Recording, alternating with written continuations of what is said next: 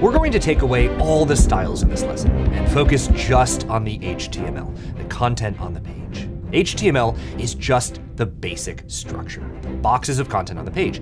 Yes, there are nuances we'll cover down the road, but in this lesson, we're going to cover five things. We'll see what happens when we strip away styling and look at just the HTML. We'll show examples of what kinds of HTML elements we can build with. We'll show you how you can go in and inspect real world sites. We'll delete Google. And finally, we'll change the prices on apple.com. Let's start with the first part. Here's the AirPod site, but if we turn off the styles, if we turn off our CSS, we see just the content. CSS back on, now it's styled again.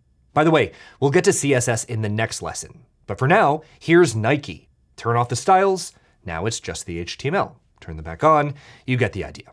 Craigslist. Here's a post for a thing. Styling's turned on, and again with, well, we had two good examples. For a third, here's another Apple site. Styles turned on, styles turned off. Again, what we're showing here is just the HTML. And when we add the CSS, that's where we control all our style and layout. That's part one. Part two, let's look at what HTML is. That last example, if we were to look at the code, we can see all the kinds of elements that make up the content. A heading, that's an HTML element. A paragraph, that's an element. A button is an element, an image is an element, even divs. Divs are just boxes that can group other elements together. Those are elements too, so is hydrogen. At its most basic level, HTML is just a bunch of different types of tags which you can use to build a page. And each of these tags are used to define the type of content. You don't have to memorize all of these, but the concept is critical. Each of these types of HTML elements are the different kinds of building blocks you can use to build your page. That's two parts down. Let's go in and inspect. This is magic. Here's google.com in a web browser. We're using Chrome here, but you can do this in any modern browser. We'll include how in the description. And at any time, we can right click on any part of the page and inspect. Now, most of what we see here doesn't matter right now. To the left is our HTML, our content, and to the right is our CSS, our styling and layout. We're only focused on the content here, the HTML.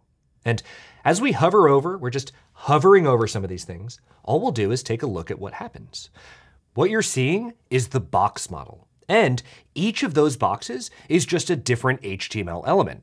We can keep hovering, or we can even expand HTML elements to see that many of these elements have other elements inside, all of it is our HTML, the elements on the page. Inspecting lets us see that. And for the fourth part, the best part, when we inspect, we can change any of it. Let's delete Google, seriously. At any point, we can hover over and try to find the Google logo. Don't worry, we're not gonna break anything, except once we find the box that looks like it contains Google, we can see it's highlighted here. Let's click that element in the code and let's press delete we just deleted Google.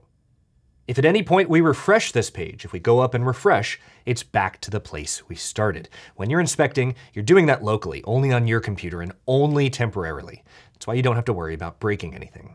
Finally, let's change Apple's prices. We're on a page here, Mac Studio. Let's right click on the price and we'll go down and do the same thing, inspect. Again, don't worry about all the other code, we're just looking for the price. And if we double click, let's try highlighting and just changing that price. Once we make that change, it's now, of course, $4, which is a savings. And that's it. Again, it's helpful to think of HTML as just the content on the page. It's made up of different types of elements, different HTML tags that serve as building blocks. On any site, you can go in and inspect to see what kinds of elements make up that page. And if we want to, we can start to mess with it. We can delete stuff, we can change stuff. By the way, we can even reorder stuff. But that's the basic power, a quick overview of HTML.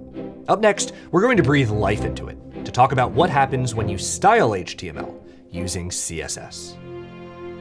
If you're watching this on YouTube, please subscribe and like and subscribe and like again.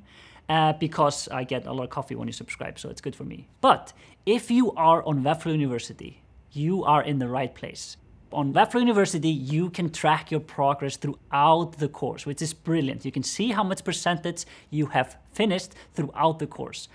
I, of course, or me, or however you say it, I have 100% all the time, locked in. yeah, and subscribe on YouTube and uh, finish the course on, on Webflow University. As soon as you can, it's good. It's actually great. It's fantastic.